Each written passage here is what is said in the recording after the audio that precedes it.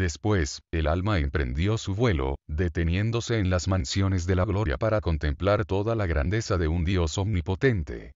Luego franquea el último umbral donde el alma abismada, contempla todos los arcanos que se gozan en el paraíso. No hablo del gran premio que me sonó meritato por tantos sufrimientos soportados en la tierra, pues, si me fuera posible, hubiera preferido quedarme en la tierra para sufrir hasta el fin del mundo, para reparar por la gran majestad de Dios, tan ultrajada y para poder salvar ancora más almas. Padre Pío, debo confesare.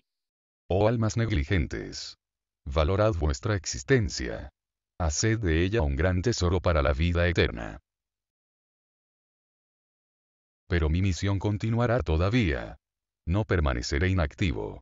Acompañaré a las almas que me fueron queridas y vigilaré a las que vacilen en la fe.